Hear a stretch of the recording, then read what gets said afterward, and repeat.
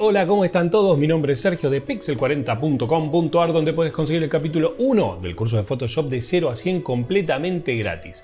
Y vamos a ir ya por el concepto número 1, donde vamos a explicar un poco qué es Photoshop. Cuando hacemos una búsqueda en Google, vamos a hacerla en este mismo momento, que es Photoshop. Tenemos como definición, Adobe Photoshop es un editor de fotografía desarrollado por Adobe System Incorporated. Parece como si fuera Trevor eh, Corporation usado principalmente para el retoque de fotografías y gráficos. Su nombre en español significa taller de fotos. Yo esto lo que le agregaría es que es un manipulador de imagen, porque no solamente podemos manipular fotografías, sino que también dibujos, ilustraciones y hasta incluso formas. Vamos a hablar del espacio de trabajo y sus elementos. Esto es una disposición que podríamos ver habitualmente en Photoshop. Aquí vamos a tener varios elementos. A todos estos elementos se los llaman espacio de trabajo. De la forma en la que está distribuida es como nosotros vamos a tener guardado nuestro espacio de trabajo y también vamos a poder disponer de espacios de trabajos alternativos según la función que estemos desarrollando en ese momento.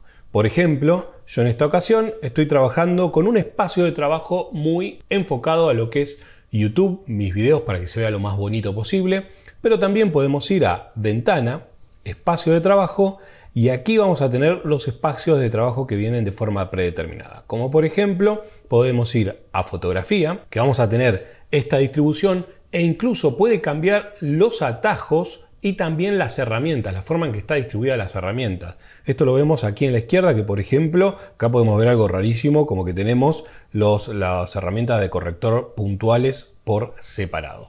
Yo voy a volver a mi espacio de trabajo habitual, que es el de YouTube.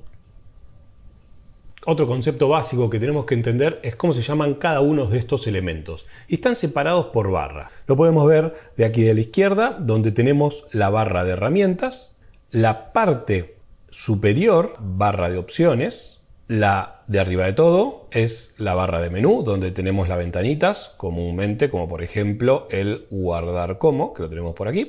Y del lado de la derecha vamos a tener este sector que se lo llama paneles. Aquí en la denominación de paneles podemos llegar a confundirnos porque a veces la llamamos como ventanas. De hecho, para desplegar algún panel en particular, tenemos que ir a ventana. Esto es algo confuso que desarrolla Photoshop porque para mí aquí tendría que poner paneles y llamarlo de una manera única porque los primeros pasos que damos en este programa, cualquier cosa que está fuera de su lugar puede asustarnos para decir no utilizo más el Photoshop. Por lo que bueno, si quieres abrir algún panel en particular, vas a ventana y por ejemplo vamos a ir a acciones, que me va a abrir el panel de acción o la ventana de acción e incluso si quiero cerrar este panel o esta ventana, también Photoshop lo llama pestaña, como para hacerlo un poquito más complicado.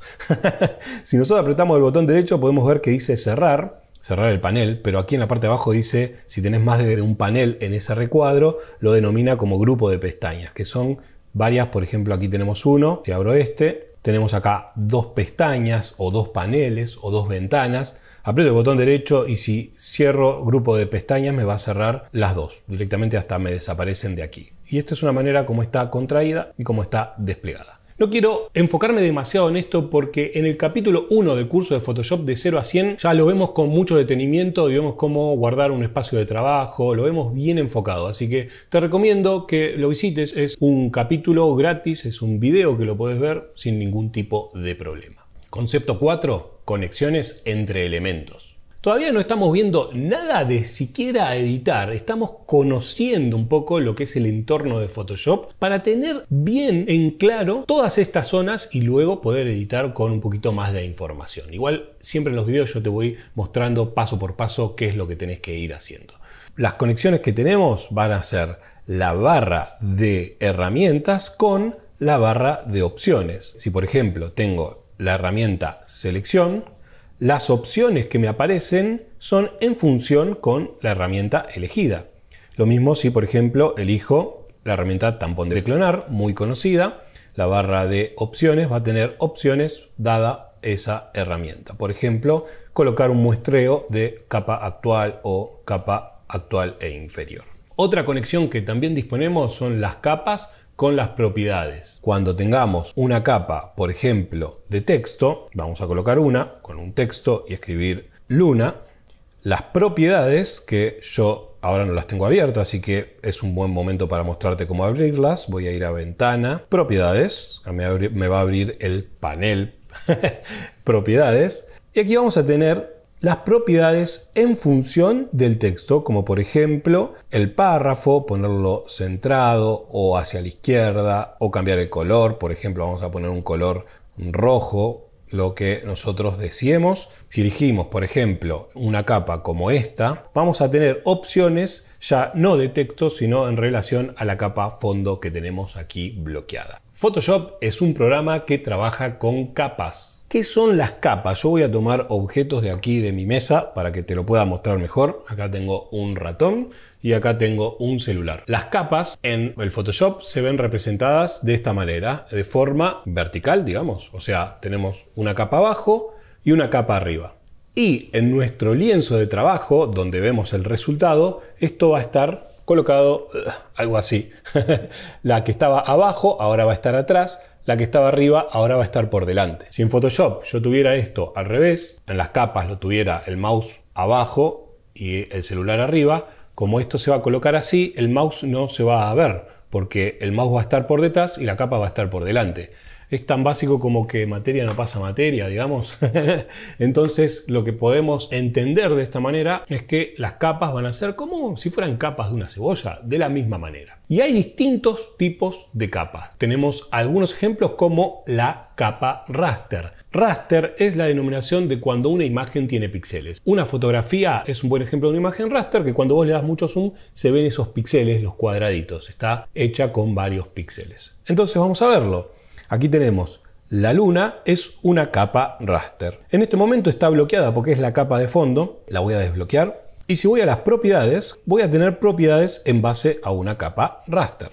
Como por ejemplo, cambiar el ancho, el alto y un montón de opciones. Es una fotografía básicamente. Otro tipo de capa son las capas de texto, donde tenemos en propiedades, como vemos aquí, todas las características para cambiar sus propiedades tenemos una capa adicional que son las capas formas. La herramienta rectángulo es la forma más conocida, digamos. Puedo crear un cuadrado por aquí y esta va a ser una forma donde tenemos también varias propiedades, como por ejemplo el relleno, vamos a cambiarlo a un celeste y un montón de otras características que no viene al caso. Podemos ver que en la ventana o en el panel capas, se pueden distinguir muy bien cada una de estos tipos de capa. La última capa que vamos a ver hoy es la de capas de ajuste, que esta la tenemos aquí mismo.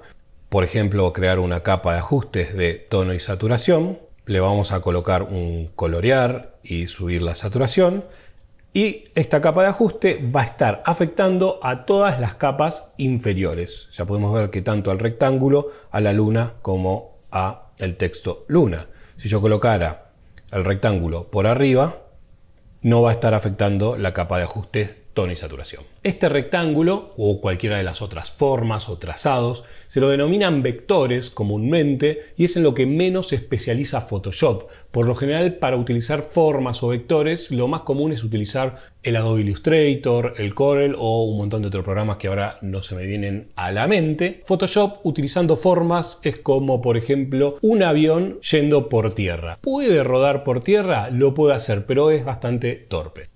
Concepto número 6 es el de las máscaras. Esto es muy importante porque las máscaras nos permiten mostrar u ocultar el contenido de la capa sin que se pierda, sin la necesidad de borrar píxeles o arruinar la imagen. Simplemente estaríamos ocultando. Y trabaja de una forma muy sencilla. Lo blanco muestra, lo negro oculta. Si tenemos un gris perfecto justo entre medio del blanco y el negro, se lo llama gris al 50%, estaría haciendo una transparencia de un 50%. Y esto lo podemos ver muy fácilmente en las capas de ajustes aquí ya tenemos una máscara colocada, pero vamos a trabajar con el rectángulo que va a ser más fácil de entender. Coloco una máscara, la máscara está vinculada al rectángulo, no importa qué tipo de capa es, si es de texto, de lo que fuere. Y si yo tomo un pincel blanco, convencional, cuando pinte no va a hacer nada porque tengo que pintar de negro. la máscara está completamente pintada de blanco, por lo cual se muestra en todos lados. Si yo pinto con la máscara seleccionada de negro, voy a ocultar, pero no borrar, simplemente estoy ocultando. Si yo aprieto mayúscula sobre la máscara, puedo ocultar la función de la máscara y veo que el rectángulo sigue estando ahí. En ningún momento borré absolutamente nada. Entonces, vamos a mayúscula nuevamente sobre la máscara si yo pinto de blanco ahora sí, puedo traer nuevamente los píxeles visibles. Y lo mismo pasa con la capa de ajuste. En una capa de ajuste la máscara actúa de la misma manera. Lo que está pintado de blanco muestra la capa de ajuste, o sea, tono y saturación, y si pinto de negro voy a volver al color original. Séptimo concepto básico de Photoshop es que está orientado a trabajar de forma no destructiva. Tenemos un excelente ejemplo con el concepto anterior en donde estábamos trabajando con máscaras, donde en vez de borrar los píxeles, por ejemplo, de una capa raster, de una capa de imagen, le colocaríamos una máscara y podríamos pintar de negro para ocultar y no estar eliminando píxeles. Esto me va a permitir el día de mañana, en el futuro, cuando yo guarde este proyecto, siempre poder volver a los pasos atrás, o sea, poder volver a los píxeles originales a verlos. De la misma manera, hay otras cosas un poquito más complejas que yo no lo voy a estar mencionando en este video porque quiero mantenerlo básico para principiantes, que es el de objeto inteligente. Los objetos inteligentes te permiten utilizar filtros inteligentes que de la misma manera vas a poder siempre modificar las propiedades de ese filtro para volver tus pasos hacia atrás. Además, Photoshop cuando realiza alguna actualización siempre piensa en este concepto de trabajar de forma no destructiva, por eso hacemos mucho hincapié en esto. Concepto número 8, la configuración inicial.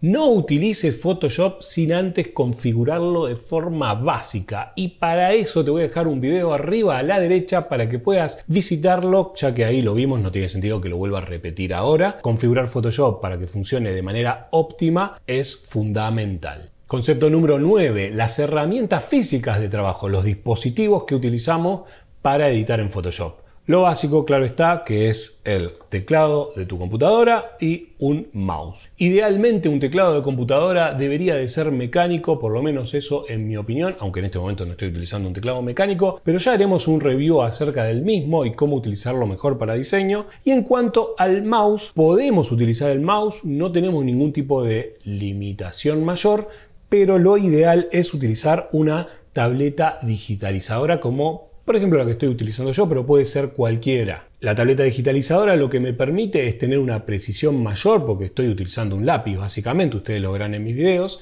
y también tiene como por ejemplo acá en la punta detector de sensibilidad, por decirlo de alguna manera, en donde cuando apretas más fuerte o más despacito hace cosas distintas, como por ejemplo podés configurarlo para que cuando apretás más fuerte tire más tinta y cuando apretás más despacio tire menos tinta. Si querés ver la diferencia fundamental entre tableta digitalizadora y mouse, te voy a dejar un video arriba a la derecha para que puedas visitarlo y si querés saber qué tableta estoy utilizando, te dejo el link de Amazon en la descripción. Concepto número 10 y último, ¿quiénes utilizan Photoshop? Diseñadores en general, por supuesto, fotógrafos, si necesitas manipular una fotografía, siempre vas a recurrir a Photoshop u otro programa de manipulación de imagen similar, por supuesto. Ilustradores, se puede utilizar para dibujar y de hecho puedes configurar un espacio de trabajo para dibujar bastante bien, aunque también hay programas que son dedicados exclusivamente para ilustración, que yo no soy un especialista en ilustración en la materia, así que tampoco te voy a poder recomendar mucho más de esto. Programadores, como por ejemplo un programador full stack, Muchas veces hay programadores que desarrollamos a pulmón y no solamente hacemos la parte de código, sino también, por ejemplo, si estás desarrollando una página web, necesitas editar una fotografía para tu página, vas a pasar probablemente por el Photoshop. Es algo muy común. Es más, yo aprendí a utilizar Photoshop con programación web y no con fotografía. Y lo último a tener en cuenta, como dije antes, Photoshop es una herramienta de manipulación de imagen, pero principalmente para imágenes raster, que también te permite vectorizar vectorizar. O sea, sí, Photoshop permite vectorizar. Te voy a dejar un video arriba a la derecha explicándotelo con más detenimiento. Pero si lo que vos querés es vectorizar, te vas a ir más a un Illustrator o un Corel. Digamos así como si tenemos que decir que es la máxima de Photoshop es para fotos y la máxima de Illustrator o Corel es para folletos, banner, cosas por el estilo que vas a poder utilizar vectores, que los vectores lo que te permite es hacer un zoom al máximo sin perder calidad, de alguna manera explicado así muy por arriba. Muchas gracias pixelados y selectores de Patreon y PayPal. Es por el aporte de todos ustedes que yo puedo seguir subiendo videos cada día. Eso es todo por el video de hoy, espero que te haya gustado. Hay muchos videos complementarios en el canal acerca de los primeros pasos que uno da utilizando Photoshop cuando uno es nuevito, por decirlo de alguna manera. No tiene nada de malo ser newbie, todos fuimos newbies en algún momento de nuestra vida y somos newbies en un montón de otros aspectos que estamos aprendiendo. O sea, no tiene nada de malo, simplemente quizás entender un poquito más los conceptos básicos de este video te va a hacer tener reforzada la forma en que luego vas a ver el resto de los videos de mi canal, de los tutoriales, entendiendo más qué parte es qué parte y qué cosa es para qué cosa. Si te gustó este video, compartilo, eso es lo que más me ayuda, es que compartas este video en todos lados, WhatsApp, en donde vos quieras, pero compartilo como un loco. Nosotros nos vemos en el próximo video.